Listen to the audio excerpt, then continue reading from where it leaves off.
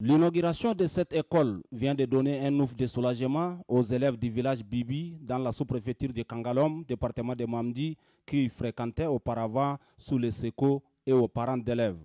Cette infrastructure scolaire est composée de deux salles de classe et un bloc administratif alimenté 5 sur 5 par un performant système solaire.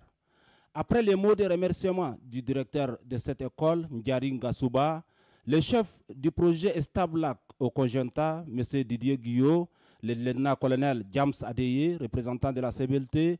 ont tour à tour exprimé leur reconnaissance au commandant des forces mixtes multinationales, le général de brigade Juma Youssou Mamat Itno, pour son appui multiforme, tout en soulignant que l'amélioration des conditions des études pour ces enfants est la priorité la plus absolue.